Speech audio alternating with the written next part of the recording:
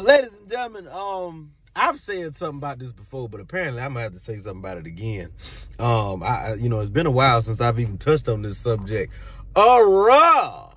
People who got money, you know what I mean? And I mean, I have to single out the people who got money because I know everybody ain't able, but uh, uh, uh, uh, people who got money, especially, fix your teeth.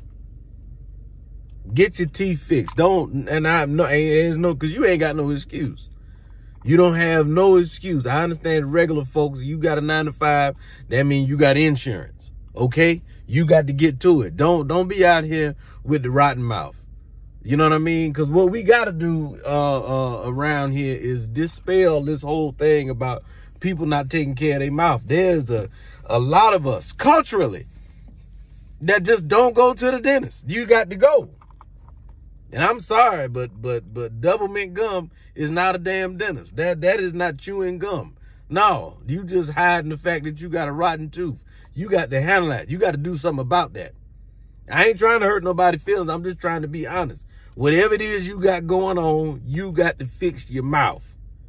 You understand what I'm saying? Like if you brush your teeth and your breath stink right after that, then you got to do something about drink water.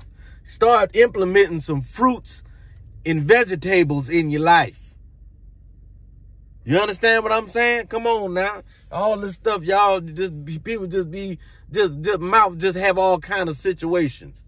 And I'm I'm singling out the people who got money because y'all stay running your ass to to to Gucci and Louis and and Fendi and Prada and Versace and all them people. You got how you got all how you got on uh, uh, uh, uh, uh, $10,000 worth of clothes. But you got 75 cent worth of mouth work. All you spent was the, the little little couple dollars on, on a pack of gum. Uh-uh, uh-uh. No, no, no, no, no, no, no, no. You got a pocket full of money, and but how you don't have a mouth full of teeth? I'm not. I'm, I'm not gonna sit up here and just you know because because it it make your breath stink, and y'all love to talk.